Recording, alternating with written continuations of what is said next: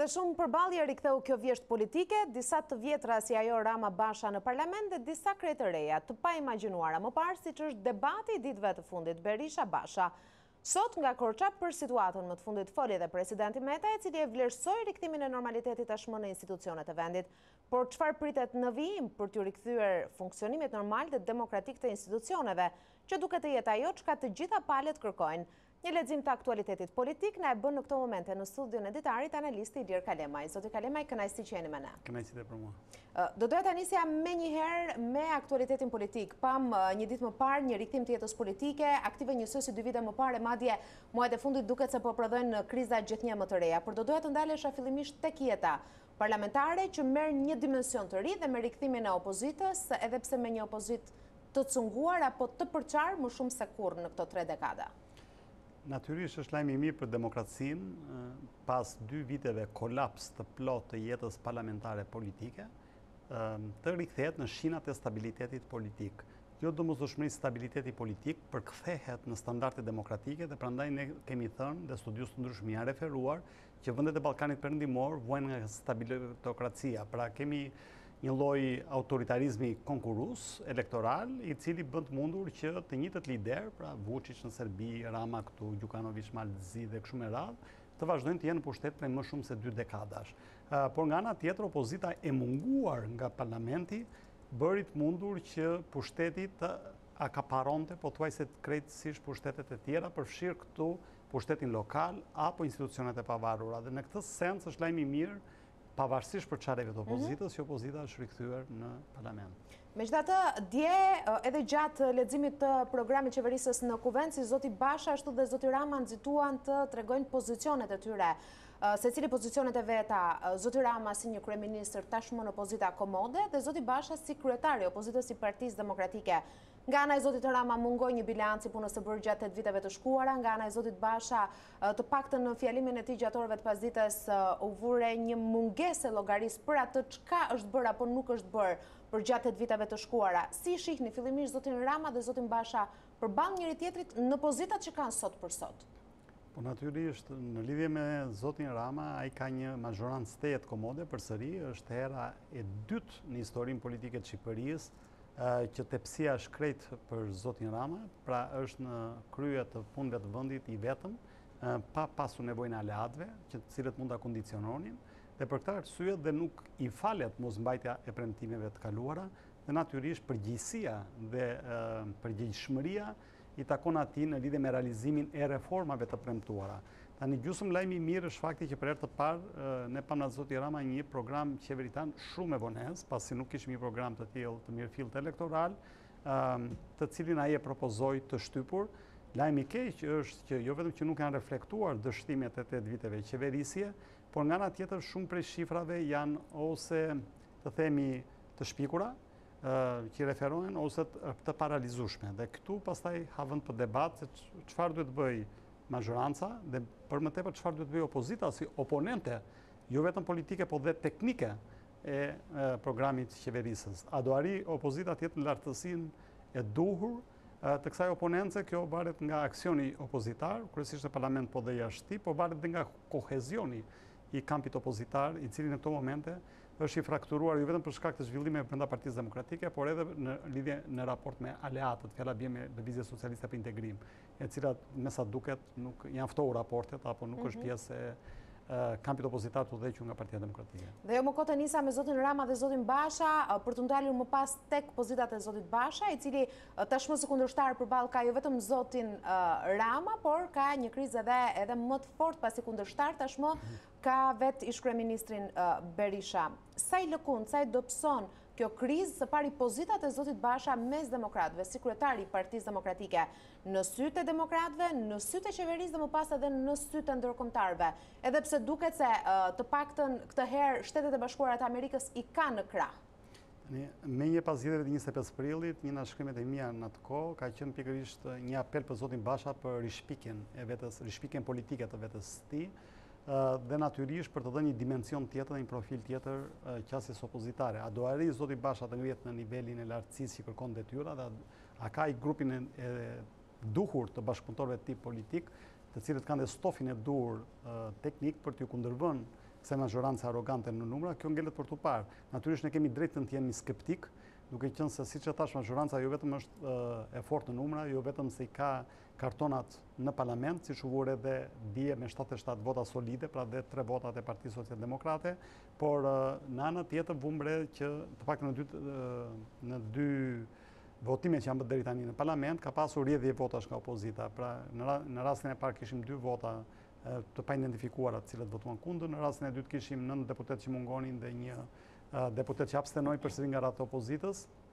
Dhe në këtë sens opozitës i duhet më shumë punë për të arritur kohezion mes veti, si nga pikëpamja numerike, por për më tepër dhe më e rëndësishmja nga pikëpamja përmbajtësore, pra të arrijnë t'i bëjnë oponencë politike, oponencë teknike këtij programi qeveritar dhe natyrisht të jenë një zë kritik që përfaqëson edhe interesat e ndryshme, shtresat e ndryshme të shoqërisë, sepse për këtë arsye dhe janë zgjedhur aty ku janë. Një ditë më parë, sikurse po e shohim edhe nga pamjet, protagonist absolut i pasdites ishte ish-kryeministri Berisha. Së pari, mendoni se do të prodhojë surpriza të paktën për skenën politike foltorja e zotit Berisha? Natyrisht lëvizja e zotit Berisha ngjan disi me lëvizjen e zotit Nano, fillimisht për katarsisin, pastaj lëvizja Nano dy që ishte bashkë me Petro Koçin për të ripërcaktuar apo për të rishfaqur si faktor potent brenda Partisë Socialiste. Natyrisht në rastin e zotit Berisha mendoj që më tepër sesa një sfidë për kryetar, të drejtë të drejtë ndaj zotit Basha, për ta rimarrë ai kontrollin e Partisë Demokratike, mendoj që është një mënyrë për të diktuar agjendën e tij zotit Basha dhe në një anë për të bërë të mundur që të ketë një lloj rikonceptimi të Partisë Demokratike në një të themi situatë post Basha. A do arrijë zoti Berisha ta bëjë këtë gjë, pra ta sfidojë kryetarin aktual dhe të rimarrë partinë nën kontrollin e tij direkt apo indirekt, Unë besoj se është shumë e vështirë, në mos e pamundur që të realizohet një gjë e tillë. Përse? Por kjo për faktin se zoti Basha ka të paktën dinamika apo dialektika e gjërave nga 25 prilli deri në ditën ku jemi sot, me zgjedhjet e rrufeshme brenda partiake, me marrjen e kontrollit të plotë të Këshillit Kombëtar të Partisë Demokratike, të paktën në masën e tij dërmuese, me zgjedhjen e kryesisë së Partisë Demokratike, me Kryetarët e strukturave nuk besoj se janë spastruar, sepse janë po ata kryetarë në pjesën më të madhe të grup seksioneve, por natyrisht gjithmonë në Shqipëri kanë treguar që partitë në fund fundit zgjedhin delegatët, delegatët votojnë kryesinë dhe është një cirk apo një rreth i mbyllur të themi. Dhe nga ana tjetër ka dhe kontrollin e grupit parlamentar që është edhe më mhm. kryesori dhe më decizivi për sa i përket aksionit parlamentar, aksionit opozitar në foltoren e parlamentit. Kështu që foltorja alternative e zotit Berisha, për ta thënë në gjuhë metaforike, mendoj që ka pak shanse për sukses, të themi, elektoral brenda Partisë Demokratike apo për sukses politik në minimin e lidershipit të Lulzim Bashës. Megjithatë kë patë dje në krah të zotit Berisha? Patë të zhgënjyerit e Bashës apo besnikët e Berishës? Ata që besojnë se me Berishën mund të fitojnë më shumë apo mund të përfitojnë më shumë duke qëndruar në heshtje pas krahëve të zotit Basha? Në fakt ishte një pakicë shumë e vogël e deputetëve të aktual të Partisë Demokratike. Pjesa më e madhe e atyre që ishin në sallë ishin persona që kanë qenë ish deputetë apo ish funksionarë të Partisë Demokratike të larguar nga lista. Mungonte për shembull dhe disa nga figurat që kanë qenë zëra të fortë oponentë ndaj zotit themi Basha dhe që janë larguar prej tij, për shembull mungonte Jozefina Topalli pavarësisht një justifikimi që ajo dha, mungonte Arben Imami, mungonte Genc Ruli, pra mungonin figura të tjera, personalitete të Partisë Demokratike, të cilët mund të tregonin një farë mënyre nga do anonte peshorja në këto çaste decizive. Por nga ana tjetër ishin ato zëra të cilat u panë qysh ditën e parë, që ishin pro zotit Berisha, si rasti i Flamur Nokës, apo Edi Palokës, apo dhe disa personazheve tjerë, përfshi Bujar Nishanin e ndonjë tjetër. Megjithatë, sot protagonist nga Korça u bë edhe Presidenti i Republikës, pas një heshtje disa muajsh pas zgjedhjeve të njëzet e pesë prillit. Së pari pati porosi për opozitën, sikurse mes batutash komentoi edhe zhvillimet në kampin blu. Citoj, Berisha është si vera, sa më shumë kalon koha, aq më tërheqës dhe aq më demokrat bëhet. Si e patë reagimin e presidentit në këtë fillim të sezonit të ri politik? Natyrisht, përtej kësaj batute, pjesa tjetër ishte, si do thuash, ulje toneve nga anë e presidentit në lidhje me mazhorancën, ai tha që u rikthyen në shinat konstitucionale, është situata mjaft më mirë se ç'ishte para njëzet e pesë prillit, për këtë arsye ai nuk ka ndërmarrë një rol protagonisti. Mendoj se kjo është edhe një mënyrë për të shtensionuar situatën në pritje të dekretimit të pritshëm të ministrave ditën e nesërme.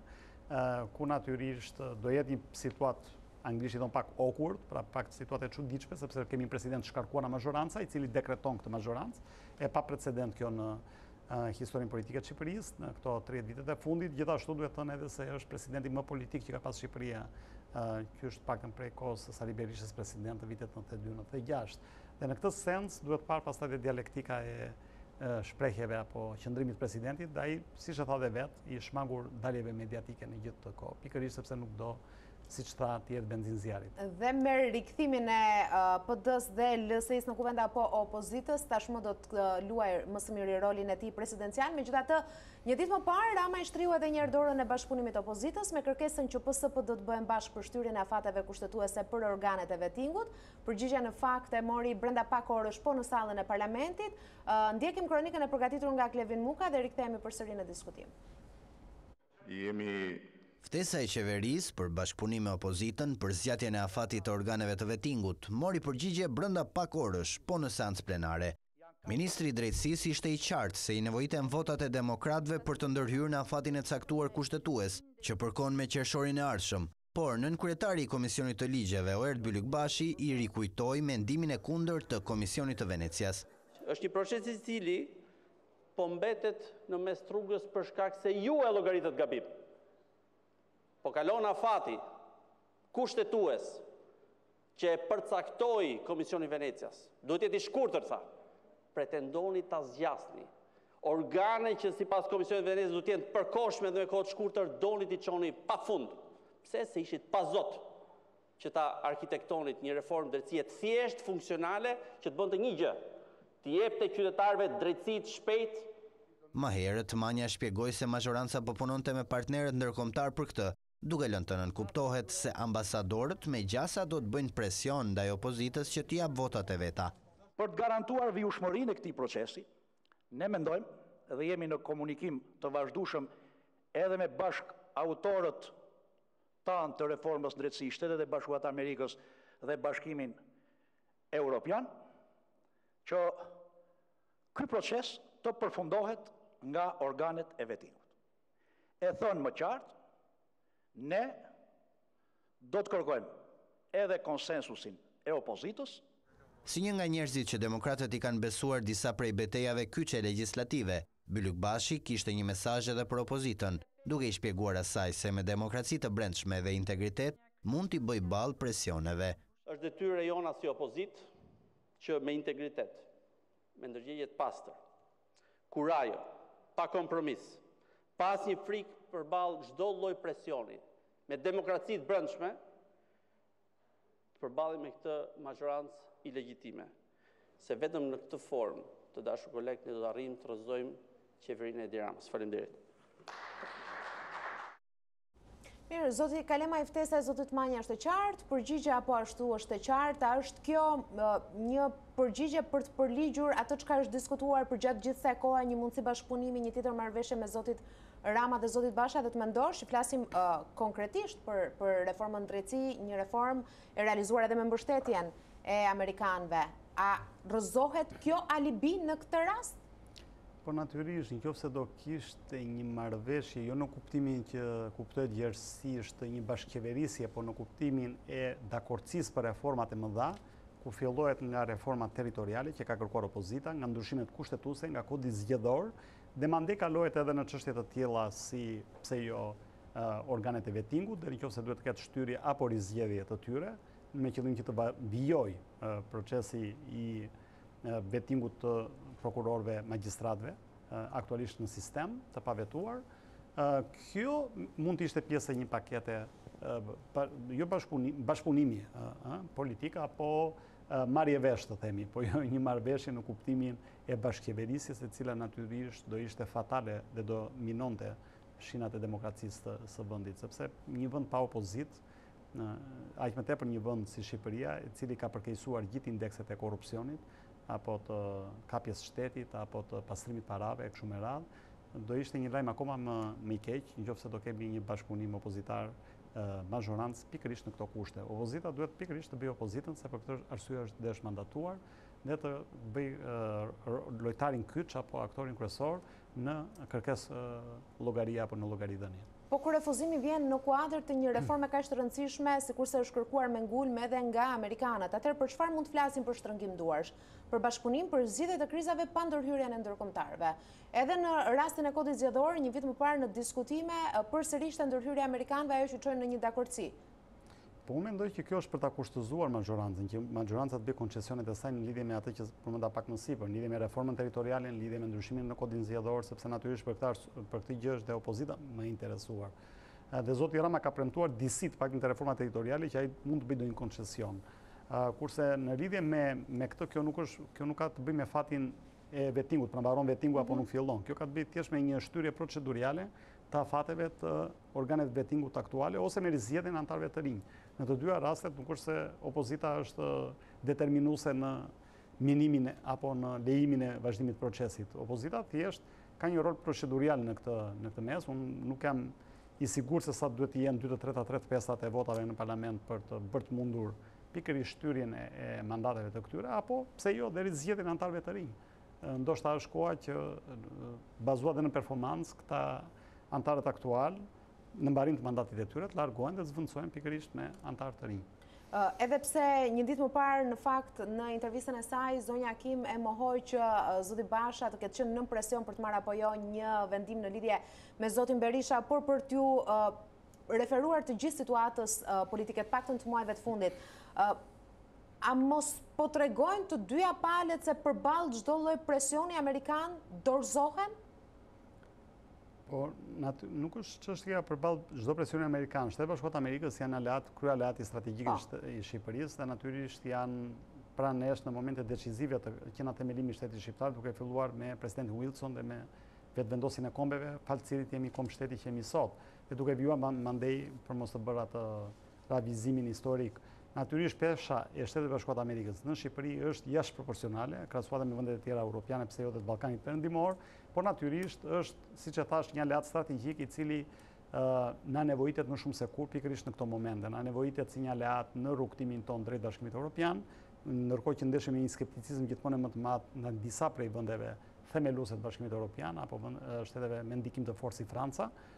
Na nevojitet për shkak të NATO-s dhe për shkak të, të themi, të, të strategjive të përbashkëta ushtarake të sigurisë, na nevojitet si investitor, na nevojitet si mbështetës në proceset rajonale, fjala bie në njohjen e mëtejshme të Kosovës. Aq më tepër që dhe Kosova, Republika e Kosovës nuk i ka marrëdhëniet fort të shkëlqyera në këto momente që flasim me Shtetet e Bashkuara të Amerikës dhe ata janë disi skeptikë në lidhje me më falni, me qeverisjen e atjeshme. Kështu që në këtë sens duhet parë që vështrimi amerikan duhet të jetë mbi Shqipërinë dhe vështrimi amerikan është i rëndësishëm për përcaktimin e suksesit, jo vetëm elektoral të forcave të ndryshme politike, po mbi të gjitha për suksesin e vendit në tërësi dhe për zhvillimin e mëtejshëm të. Por ne nuk kemi asnjë ndikim në politikën e brendshme, u shpreh zonja Kim një ditë më parë. Vijnë ndoshta vetëm në formën e sugjerimeve apo të këshillave Nga Shtetet e Bashkuara të Amerikës këto ndërhyrje? Kjo është një gjuhë diplomatike natyrisht, zonja Kim nuk përfaqëson veten e saj, ashtu sikundër asnjë diplomat, mhm. i asnjë shteti tjetër nuk përfaqëson veten e tij nominalisht, përfaqësojnë qëndrimin e Shteteve të Bashkuara të Amerikës. Në rastin e non gratës zotit Berisha, ky qëndrim është shprehur literalisht nga personi i dytë më i lartë në administratën, në hierarkinë e administratës Shteteve të Bashkuara të Amerikës, që është pikërish sekretari i shtetit. sekretari Blinken. Kështu që në këtë sens duhet thënë që kemi të bëjmë me një qëndrim të Shteteve të Bashkuara të Amerikës, jo një qëndrim nominal të zonjës Kim. Pavarësisht kësaj, unë mendoj që zonja Kim është ndoshta diplomatja më, më e mediatizuar të themi apo me më shumë është më shumë në kërkim të ndikimit mediatik se cilido diplomat tjetër amerikan ose ose jo që ka pas Shqipëria në këto 30 vjet.